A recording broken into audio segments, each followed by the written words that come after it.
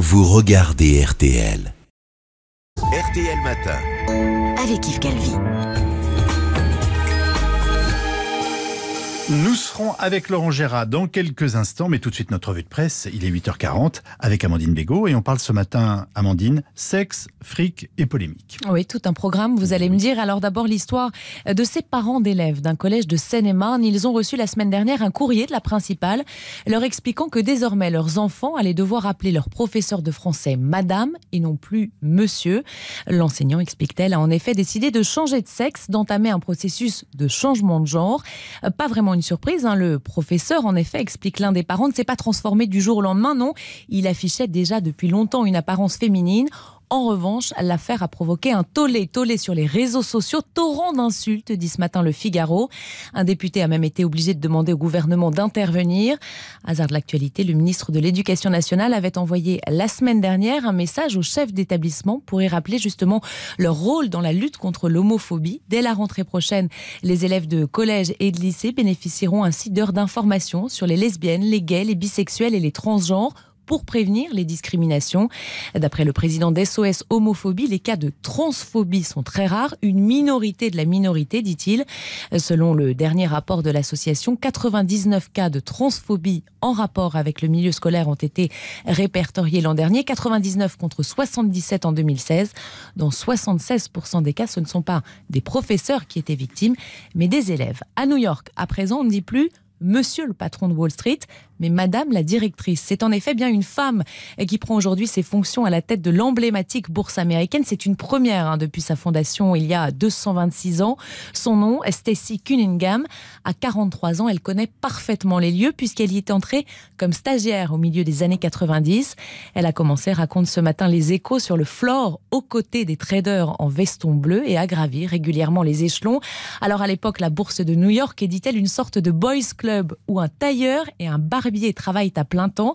Les toilettes pour femmes étaient aménagées dans une ancienne cabine de téléphone rikiki, quand les hommes, eux, avaient droit à un vaste espace. Clairement, les temps ont changé. Aujourd'hui, les femmes représentent 30% des managers qui travaillent dans la finance. C'est plutôt plus que dans d'autres secteurs.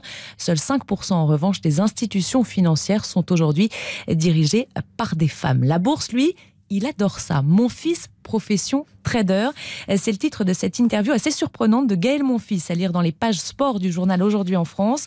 L'ex numéro 1 français est un passionné de finance, un vrai. Il a même, confie-t-il, fait des stages dans une banque, suit des cours de finance. Assez étonnant de la part de celui qui est parfois décrit comme l'enfant terrible du tennis tricolore, mais mon fils est visiblement beaucoup, beaucoup plus sage, plus posé qu'il n'y paraît. J'exerce, dit-il, un métier où l'on gagne de l'argent. C'est important de savoir quoi faire. D'argent, il en est aussi question ce matin dans Libération. À quand l'hymen coté en bourse se demande le journal qui revient sur cette affaire complètement hallucinante. Celle de cette Française qui a, et c'est une première, mis sa virginité en vente aux enchères. C'était début mai. Un banquier de Wall Street n'a pas hésité à débourser 1,2 million d'euros. Je vous entends déjà dire dans quel monde vit-on? Une nouvelle forme de prostitution 2.0. C'est en tout cas totalement interdit ici en France. Légal en revanche chez nos voisins allemands. Là-bas, il existe même une agence spécialisée en deux ans, elle a conclu six enchères de ce type.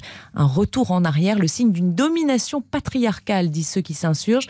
Celles qui ont franchi le pas, en revanche, l'assurent. En agissant ainsi, elles montrent, disent-elles, les, que les femmes peuvent vraiment décider ce qu'elles font de leur corps. Je vous laisse juger. Enfin, direction la Bretagne. Et là-bas, ce qui fait polémique, c'est une femme aussi, ou plutôt un film sur une femme, de loin la bretonne la plus connue dans le monde. Bécassine.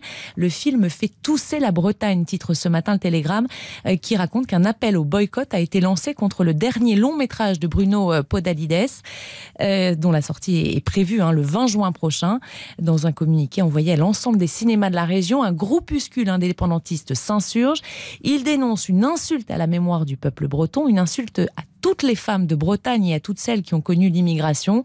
Selon eux, le personnage de Bécassine a, je cite, été inventé par la bourgeoisie parisienne qui aime se moquer des individus qu'elle exploite et opprime à longueur de journée. Ce film insultant, poursuivent-ils, ne pourra pas passer en Bretagne sans en payer le prix fort, de quoi inquiéter certains exploitants. Le message est signé Anaïk Laborné, le vrai nom de Bécassine. Ah Il y a quelques semaines, pourtant, Bruno Podalides s'était défendu. Je ne vois pas Bécassine comme la fille sotte telle qu'on la décrit souvent, mais plutôt comme une fille candide, inventive et dynamique. Heureusement qu'il n'a pas décidé d'en faire un homme, je vois déjà le scandale.